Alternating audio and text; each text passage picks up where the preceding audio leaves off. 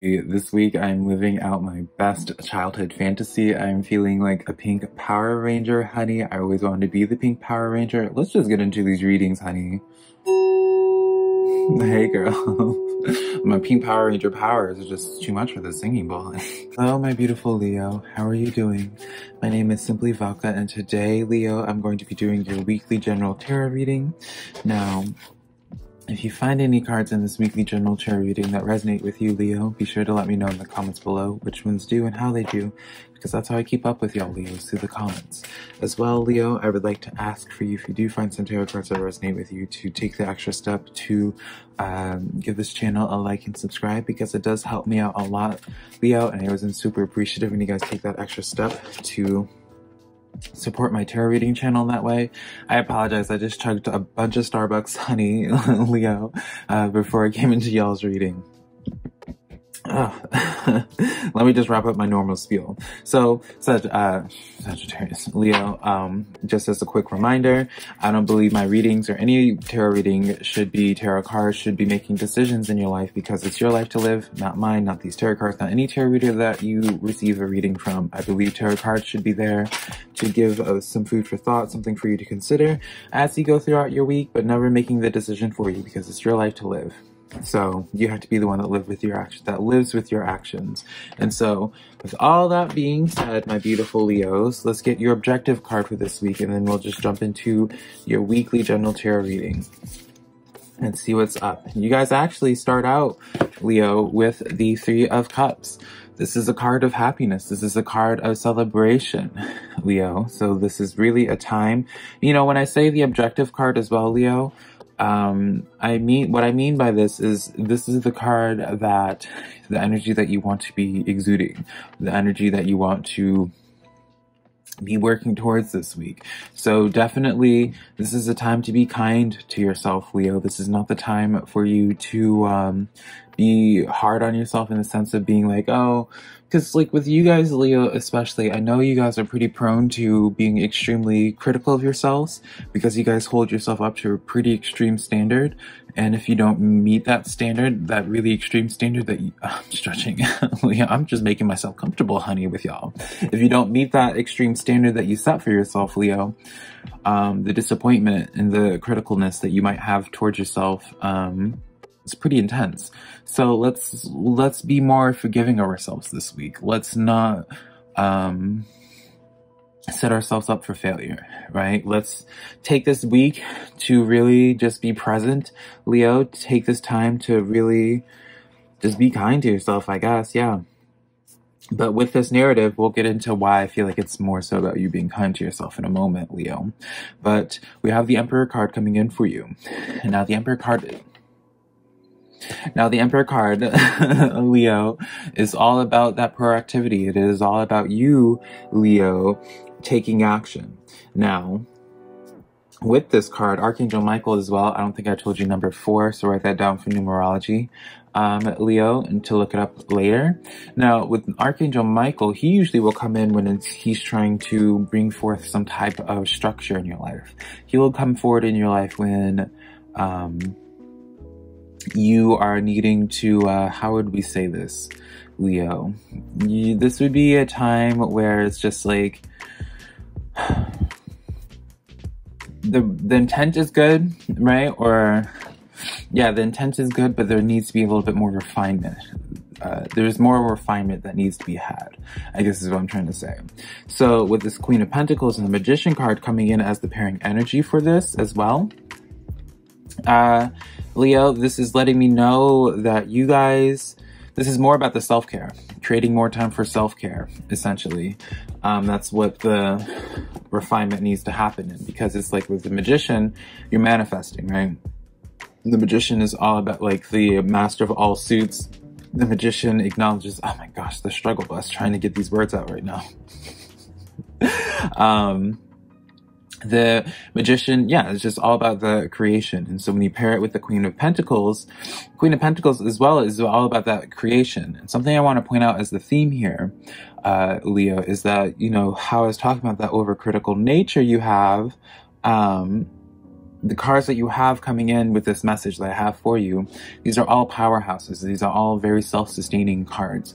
Cards that the individuals, archetypes are able to very easily take care of themselves. But in this dynamic, Queen of Pentacles also is like more like spoils herself more. She, you know, so normally this is, so let's just put this into like real life examples, Leo, just to get the message out there. Let's just say that you're a workaholic and you never spend your money. This is like a time or a week for you, um, Leo, to really start take this week and just like be okay with being able to spend a little bit of money on yourself. Be okay with spending um, extra time with yourself, right? Take this time to be selfish, I guess is essentially what this these cards are trying to say, Leo. Take this time to be selfish. Take this time to appreciate the work that you put into your life um, rather than being uh, waking up every day and finding things that you should be working on in your life and being critical about. Instead, take this time to be like, oh, you get what the point that I'm trying to make, right? Leo, so let's continue on with this message. We have the page of coins coming in for you. So with the, why is this page of coins here actually for you, Leo? Because with this, this could be in a couple different ways. Is this about communication or is this about like something being offered to you? We have the clarifiers for this page of pentacles, the two of wands, king of wands, and then the emperor card following you. So definitely continuing on with this powerhouse energy.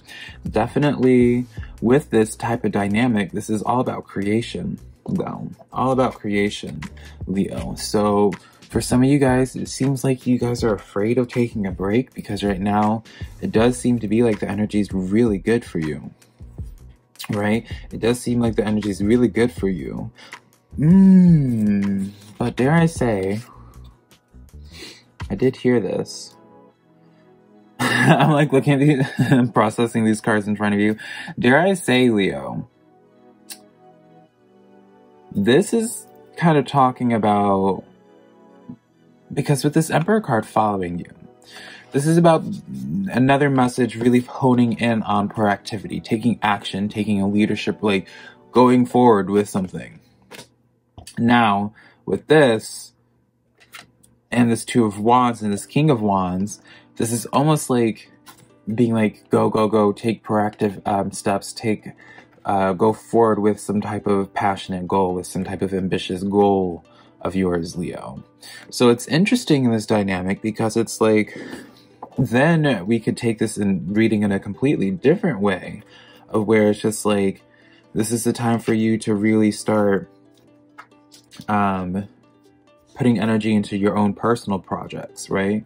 This could be a, such as, because I was looking at this essentially at the first as where it's just like, okay, like this is like such powerhouse energy, such really good energy, such creation, like creative energy.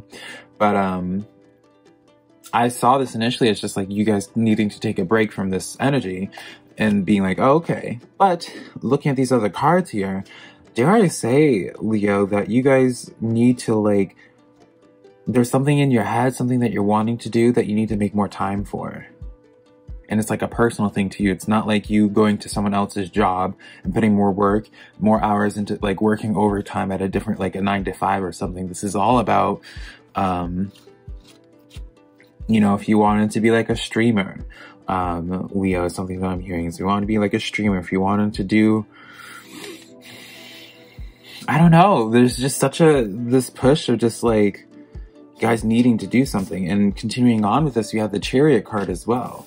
So I'm going to pull more clarifiers with this, Leo, but it's just like, so much forward movement, so much action, so much fire energy. This is the most fiery reading I've done um, for any of the fire signs.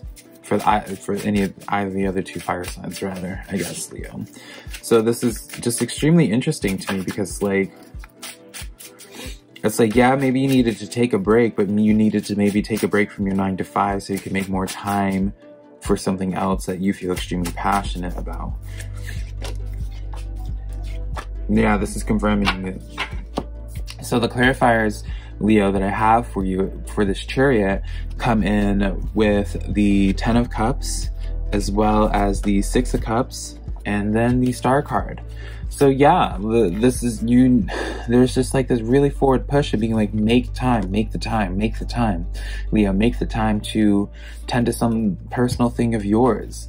Because Six of Cups comes in here, lets me know if just like, this is something you've wanted for a very long time. Leo, this is like one of those like childhood dreams, childhood goals.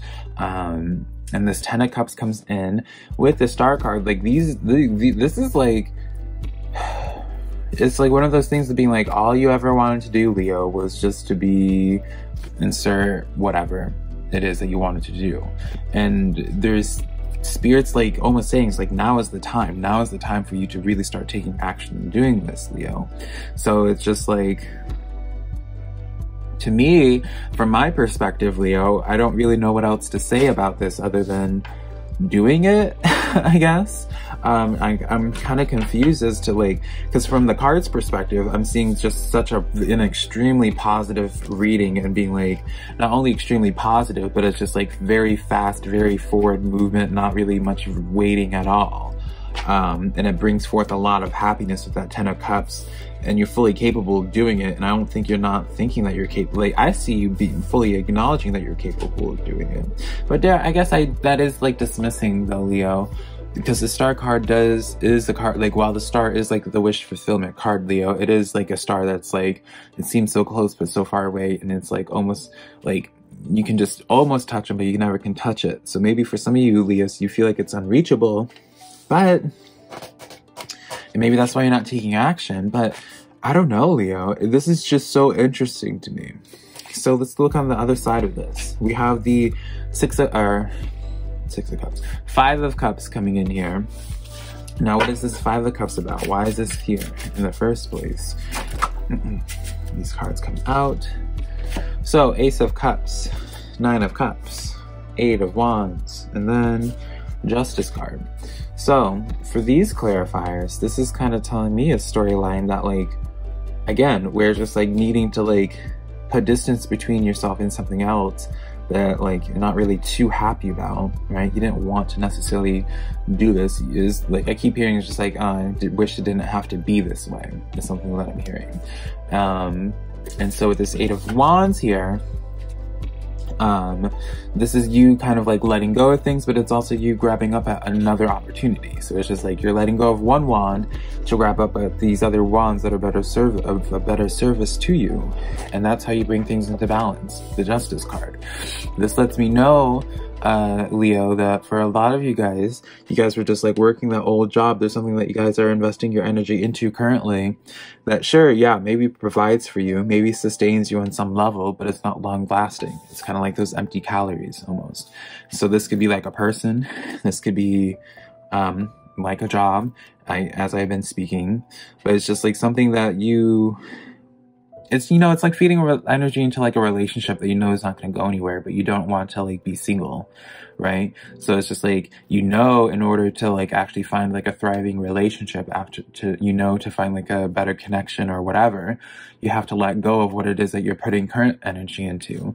But it doesn't feel good right? But you know you need to do that to uh bring things into balance to like open yourself up to for anybody else in the first place, right? Well, I mean, I guess you don't have to when it comes to a person. That's, but honey, I don't want no cheaters in my channel, right? We're not, you're not coming into my channel, honey, trying to find justifications for cheating, darling. No, no, no. If you want to be out away from, this is the side rant no one even asked for. Reset Velca. Let's address these two other clarifiers. I'm just kidding. I don't really have to. Well, I have my own personal opinion about. No one again is asking. This is the coffee speaking, honey. I don't. Ha- I know people do have their reasons for why they do certain things, so I don't want it to come off as if you ever cheated, um, Leo. That I'm like I don't want you in my channel. Like I'm fully like I don't like the action itself, but I'm not going to just have the action itself blind me to like the story that might be involved. Why am I explaining? I'm sorry, Leo. I'm always so silly for you guys. Um, anyways, uh, ignoring that side spiel. Ace of Cups, Nine of Cups comes in is like doing something for yourself. The Nine of Cups comes in very, this is a very specific card to come in, Leo. This is a very key component because this is again, is not other people involved. This is again, making decision, decisions just for yourself, your own happiness. Very much so similar to that Queen of Pentacles this is all about the self. Um, Leo, Ace of Cups, and yourself, the self is all about that happiness. So it's just like, you know, you have to like leave that job. You have to leave this person that just is like, oh, right? You know, you may have like a nine of cups situation with them, but it's not 10 cups, right? You're trying to get to that 10 cups. And I know you're trying to get to that 10 cups because that 10 cups was right next to your chariot, or not your chariot, your 10 of cups. So that's the thing. It's just like, yeah, your current situation, it's nine cups, or it's five cups, right? But it's not that 10 that you're trying to get to. It's not that 10 that's with that star card, honey. And so this lets me know, Leo, where it's just like, the next step, the only way to get to that 10th cup is by letting go the things that limit you from having 10 cups fully. Right? Um, so but this is all about under the umbrella of action. This is all about from doing these things from a place of celebration, Leo. This is making more sense to me now as to why you want to own this energy because, and have it be like a time of celebration because it's just like, I thought I almost dropped it, honey. Um, because it's like spirit saying, just like, no, this is a good celebratory time. You're finally taking steps you're finally releasing things that aren't for you. You're finally quitting this old job. Yeah that can be like a sad thing. You're finally putting distance between you and this unfulfilling relationship. Yeah that can be like a uh, thing to deal with but this is on the nate like it should be something you're celebrating because it's like it's kind of like signing the divorce papers and be like, yeah, I guess you can be unhappy about it, but it's just like you signing those divorce papers, Leo, opens your life up to everything else, right? See the growth in it, right? Empress card comes in, darling. I wanted, I was waiting to last for this to use as the last card because it's like, yeah, the Emperor, Emperor, and now we get the Empress, darling. So, um, yeah, the Empress is all about giving birth to things and really being in tune with the world and being open to the lessons, right? So let's get more clarification of the Empress take really take this week in stride. You know, take this week in stride. Take this week. Just all the only question, the only thing you need to refer to is just being like, how does this make Leo feel? Because that's only that's the only thing that matters. The clarifiers we have for your Empress card right? Did I ever show? I think I did, but I never gave you guys a moment to stare at it. Um, clarifiers we have for it is the Knight of Cups, the Hermit card, and the Six of Pentacles. So yeah, you're putting your energy. This is the time to go on your own. Hermit, I mean, how much more solo dolo can we get of a card than the Hermit card? Uh, Leo, right? So this is a card where it's just like, don't, don't surround, don't allow outside influences in your space right now, Leo. This is a time for you to like go inwards and find stuff that actually like allow things to come into your life and only welcome in things into your life that actually give you like that equal give and take that is you know that actually sustains you right this is definitely a time of for you leo this dare i say this is going to be your biggest struggle uh leo will be on like how selfish you'll make yourself feel for doing these things this week is what I guess is what I'm trying to say. Is like this this is a week where you probably will easily feel like you're most selfish, you're most like uh, dare I say like this would be like such an easy week for you to be gaslit just because it's like um such a I don't say you're insecure, Leo, but it's almost like the things that you have to do, the steps that you have to take, it's all about just with you. You know, you, there's no one else involved in it. There's nothing. um